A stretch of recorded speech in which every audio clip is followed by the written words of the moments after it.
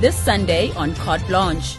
Children have been conceived through donor sperm for decades. Now, by doing mail in DNA profiling and DNA matching, people are discovering half siblings and their donor fathers. That's this Sunday on Carte Blanche, only on Mnet.